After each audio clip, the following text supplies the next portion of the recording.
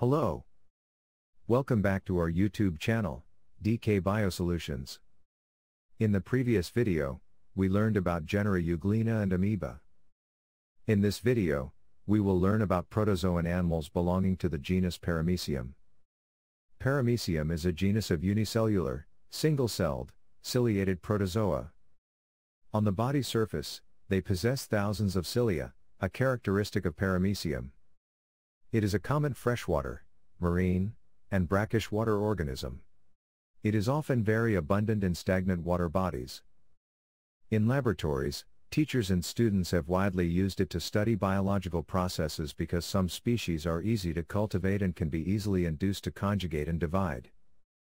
The name paramecium, in Greek, paramix, meaning oblong, was coined in 1752 by the English microscopist John Hill. Further, we will look into the scientific classification and examples of paramecium. Paramecium also belongs to the domain Eukaryota because a nucleus is present in the cell body. Further in classification, it belongs to kingdom Protista. Phylum Ciliophora Class Oligohymenophorea Order Peniculida Family Parameciidae because members of this family have differentiated anterior and posterior regions and are bounded by a rigid but elastic pellicle. And Genus Paramecium. There are four common species of Paramecium. Paramecium caudatum. Paramecium aurelia.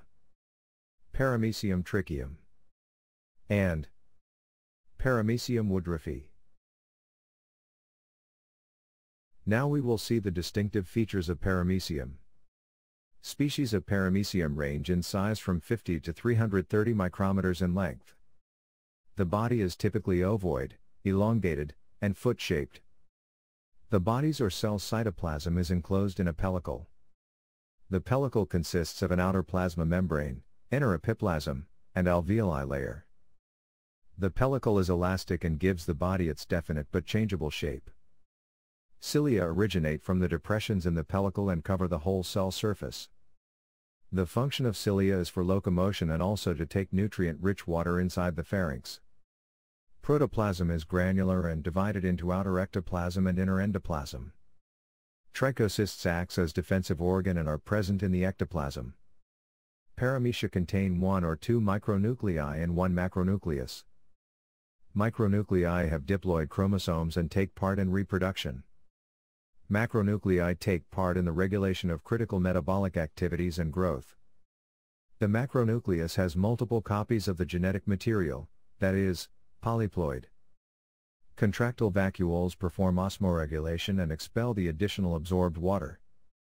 Coordinated movement of cilia helps paramecium to engulf food, and then the food vacuoles digest it.